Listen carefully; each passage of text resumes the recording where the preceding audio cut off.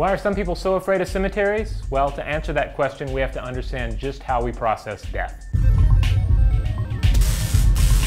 So as humans, we tend to go one of two directions when it comes to thinking about death. Either we magnify it to ridiculous extremes, freaking out about it, morbidly obsessed with it, or we're pushing it completely to the sidelines. We're avoiding it at all costs. We're not thinking about it. We're not looking at it. And in that, we really get into how we deal with threats. Because what is death but the, the greatest threat? It's the, the ultimate threat. It is the end of all our stories. How do we deal with threat? Well, we tend to run from them or fight them. It's fight or flight. Flight is generally the easy part because we can we can remove ourselves from the proximity of death, especially in modern culture. We have hospitals, we have medical technicians, we have an entire funeral industry that is set up so that we don't have to deal with the nitty-gritty of dead bodies. And then on the other side, there's fighting death. Now to fight death, we really have to externalize it or even personify it in the form of like a grim reaper or an angel of death or what have you, any number of cultural examples of that exist.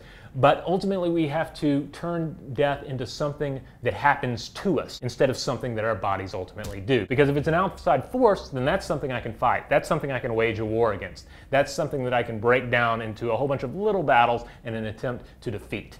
So, what do you think about cemeteries and graveyards? Does it creep you out to tiptoe among the tombstones? Does it thrill you? Does it make your day? Do you enjoy a good stroll through a graveyard? Uh, let us know. We'd love to hear from you in the comments below. We'd also uh, love to see your video responses. And by all means, subscribe to the video feed and you can check out all the past videos as well.